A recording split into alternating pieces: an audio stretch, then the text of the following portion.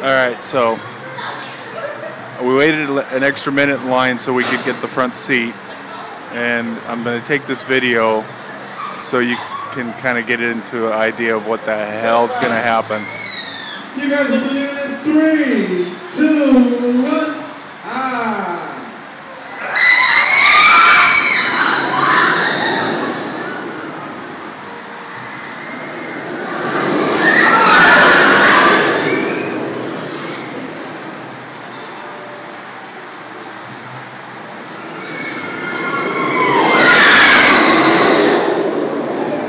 They're probably doing about 60, 70.